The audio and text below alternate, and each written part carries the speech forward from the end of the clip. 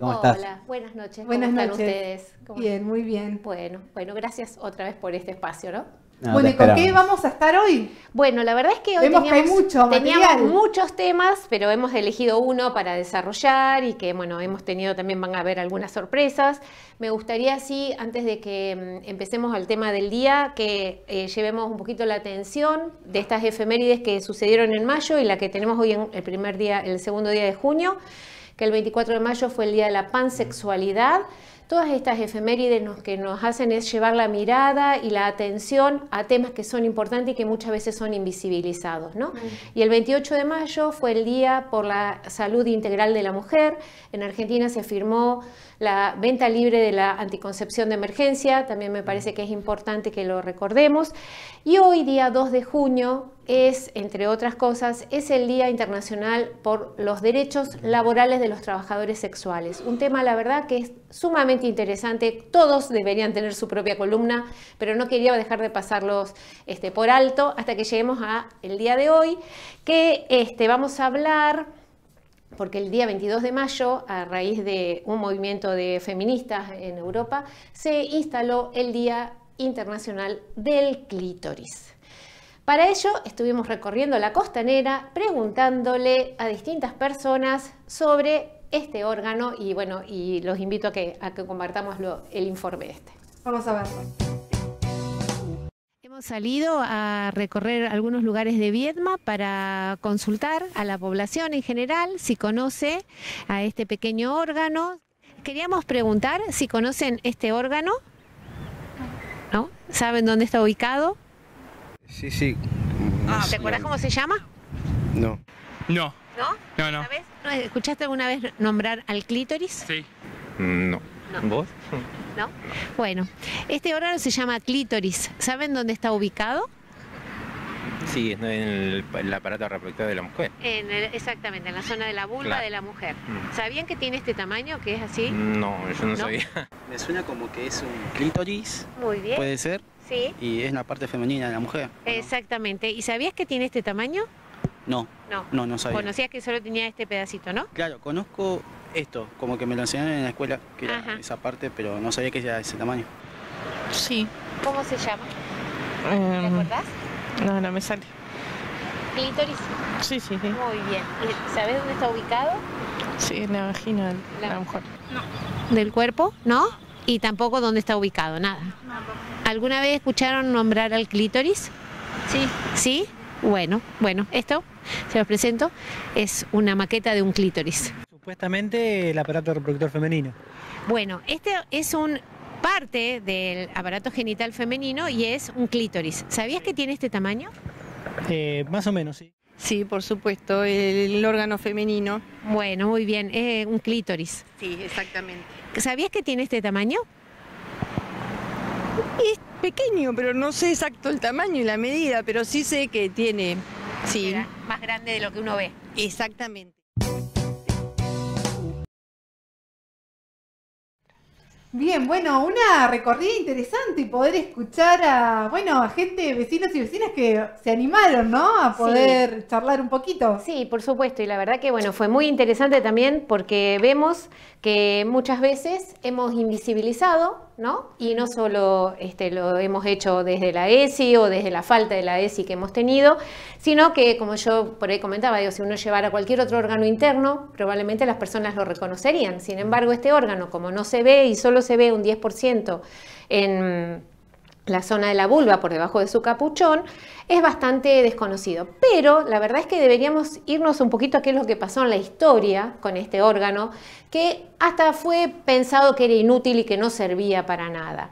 Eh, el placer femenino, como ha sido muchas veces como invisibilizado, aunque podríamos decir que el padre de la medicina, Hipócrates, decía que para lograr la reproducción hacía falta que un orgasmo, este, tanto en el hombre como en la mujer, pero no conocía este, de qué se trataba este órgano. En 1552 me gustó ponerles todo esto, eh, un anatomista, el doctor Mateo Colombo, describió al clítoris y lo nombró como si fuera una obra de arte, algo hecho con tanto amor que debería, que solo con tocarlo con el dedo meñique ya había, digamos, evolucionado en esto, ¿no? Y decía que generaba muchísimo placer. Pero después, Sigmund Freud, eh, conocido para todos porque es el padre del psicoanálisis, escribió tres obras en donde decía que la evolución de la mujer era que el orgasmo fuera vaginal. Y entonces eh, redujo al clítoris a una situación infantil en el orgasmo de la mujer, por lo tanto quedó nuevamente invisibilizado hasta que una neuróloga australiana en 1998, la doctora Helen O'Connell, se mm, tomó el trabajo de estudiar y de publicar realmente toda la estructura que tiene el clítoris. Mm, y, además, digamos, un poco ella estaba muy incómoda porque en los libros de anatomía, de hecho yo lo puedo decir también, en mis libros de anatomía no estaba descrito este órgano. Eh, lo cual ella consideraba que era, estaba siempre y sigue estando, si ustedes buscan bibliografía, va a ver que todo el tiempo está como comparado con el pene. Este órgano eh, llega a medir entre 9 y 11 centímetros cuando se ingurgite, cuando se llena de sangre, casi más que un pene en estado flácido. ¿sí? Tiene tres funciones. La primera función es la de dar placer. No quiere decir que una mujer que no sea estimulado este clítoris no vaya a sentir placer, pero sí la manera de sentir y de, y de mm, procesar ese encuentro va a ser mucho más agradable y mucho más completo. Hoy, en el 2023, como podemos ver, hay tantas personas que desconocen y es más, hasta muchas mujeres desconocen que esto existe, ¿no? O sea, que qué importante es que sepamos que eh, nos da placer, que además también durante el coito protege a la uretra, ¿sí? Eh, si ustedes ven cómo está ubicado en la parte posterior de la vulva, ¿sí? Y como pueden, uy, lo rompimos, como pueden ver, está casi todo escondido, ¿sí? Va a proteger a la en la uretra, ¿sí? Cuando haya durante el, acto coital. Todo este tejido va a crecer y va a rodear la vagina. Por eso, la primera eh, porción de la vagina, el primer tercio de la vagina, es la zona de mayor placer, mm. ¿sí? Mucho más que lo que tiene que ver con la penetración este, hasta el cuello del útero, que es algo que también hemos eh, creído que sucedía así, ¿no? Que, que esto pasaba. Ale, muy pocos años, ¿no? De estudio, análisis del clítoris. Vemos en 1998. En 1998 recién. Hablábamos en la previa y decíamos, bueno, a ver, ¿quién tuvo en la educación primaria al estudiar, ¿no? Los órganos reproductores, como se decía en ese momento, eh, bueno, la Ni siquiera yo me recibí en 1991, por lo tanto en mis libros de anatomía tampoco, estaba descrito este órgano, ¿no? Y mm, este, recién, eh, como veíamos, en el 2010 se publicó la primer resonancia magnética de un clítoris en excitación. Por eso hoy le conocemos tres funciones, las dos que yo nombré, y una tercera que tiene que ver también con lo reproductivo, porque ayuda a aumentar la vascularización, mm. aumenta la oxigenación, la lubricación. Ahí podemos ver en esta imagen mm. cómo el clítoris va tomando y cómo va este, formándose en la, alrededor de la vagina, ¿no?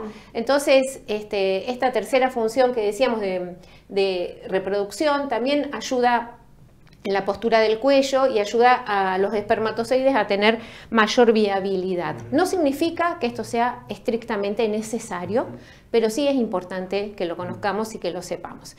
Así que eh, yo pienso que como tarea para el fin de semana les voy a dar tantos que exploremos y encontremos cada una pueda encontrar su clítoris eh, si están solas, si están en parejas, como quieran, pero recomiendo que exploren, que se autoconozcan, que sepan realmente este, este órgano que eh, es muy agradable. Y una cosa que no les conté, que es importante, que les decía hoy antes de empezar, esta zona, que es la que está más visible, que está tapada con un capuchón de piel, que uno lo corre, esta zona es sumamente sensible.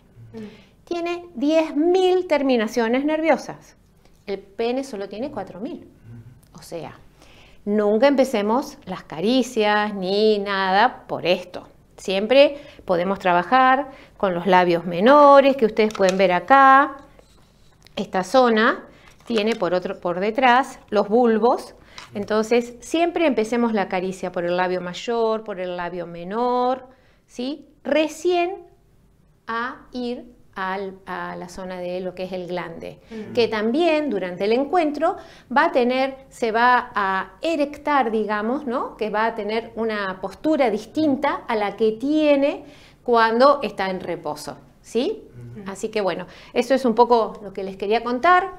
No debemos dejar de nombrar que hoy en día lamentablemente hay mujeres que sufren mutilaciones, más de las que nosotros quisiéramos, y lamentablemente el, el modo en que se hacen estas mutilaciones es tremendo, sumamente, este, digamos, cruento para evitar el placer y para entregar una mujer este, en cierta medida con un concepto de virginidad. La verdad que este, también deberíamos pensar en eso, por eso es importante que, que lo tengamos en cuenta y que lo sigamos conociendo.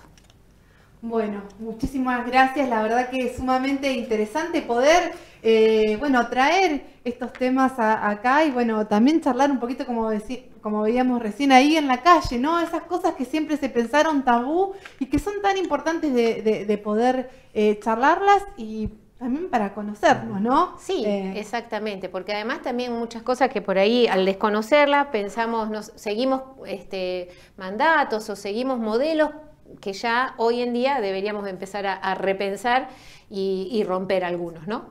Bueno, muchísimas gracias y nos reencontramos dentro de 15 días. Nos encontramos dentro de 15 días. Gracias, Ale. Gracias a ustedes. Nos vamos a un corte, Adrián. Pequeño corte y ya volvemos con más encuentro informativo.